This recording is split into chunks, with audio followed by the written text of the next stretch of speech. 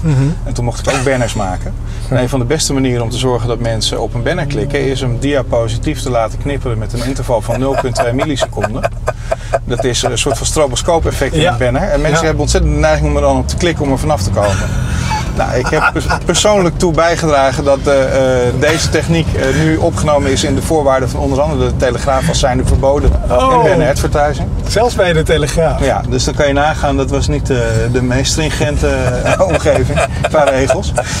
Maar wij- daar gaan we naartoe terug. Hè. Dingen die gewoon irritant zijn en die op die manier de aandacht trekken, die zijn eigenlijk verdwenen de afgelopen jaren. Omdat we dat soort ja, trucs niet meer nodig hebben. Ik vond het wel grappig, want ik zie. Eh, De, de tijd geleden, je hebt zo'n vereniging van advertentieboeren of zo wereldwijd. Ja. En die bepaalt de standaarden. De Dus- IAB eh, bedoel je, IAB, denk ik. ja. Ik denk dat zij, zij noemen zichzelf de Interactive Oh. Advertising Hier Bureau. weer. Oh, we gaan weer omrijden. Ja. En dit is ook weer dat risicogebied, of niet? Ja, oh ja, Nee, hier je gaan we bent ook je weer gefouilleerd worden. het Oh, scheelt. ja. Dan zijn we heel veel sneller weer binnen. ja, ja, dat, Dat is niet gevaarlijk meer. Hopen dat een bandje nog, eh, dat we genoeg bandjes Maar die hadden iets van, nou ja, in ieder geval, de, de bannerformaten die voldeden blijkbaar niet meer aan, eh, aan hun. ehm, dus die wilden nieuwe formaten erbij, maar in plaats van te zoeken naar oplossingen voor het veranderende web qua. Voor, hè, de, weet je, Oh, het adaptive eh, design. adaptive design, dat de, hè, de, Ja. de beeldschermen worden niet groter, de beeldschermen worden diverser. Ja, Dus je wil niet grotere eh, eh, advertenties. advertenties, je wil Ja. flexibele advertenties. Je wilt daar iets mee doen. Ja. Ik heb het daar met jou inderdaad wel eens over gehad, maar jij zag dat niet echt als een probleem. Nee, nog steeds niet eigenlijk. Nee.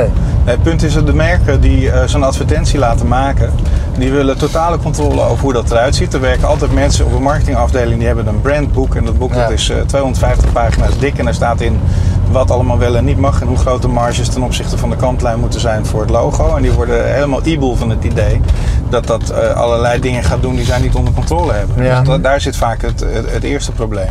Eh, een adverteerder wil gewoon exact weten hoe het eruit ziet. En eh, het liefst niet te veel variatie daarin. Ja, dat is lastig als je adaptive gaat doen. Ja, nou dat is sowieso lastig op, als je op het web werkt, hè, dat je niet weet hoe mensen jouw site te zien krijgen.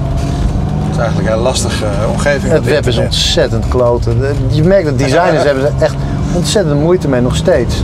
Ja. Designers en klanten ook, die willen nog altijd gewoon volledige controle over. eh, over ja.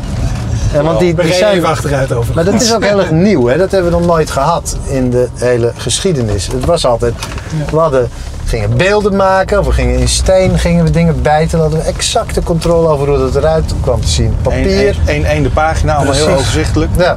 Ja. Maar, maar is het zo... Maar op het web weet je dat dus niet. En dat valt me altijd tegen, dat daar geen oplossingen voor verzonnen worden. Inmiddels kennen we dat web toch al. Dat is al Ja. 21 jaar oud. Het is inmiddels volwassen. Het mag bier drinken in Amerika.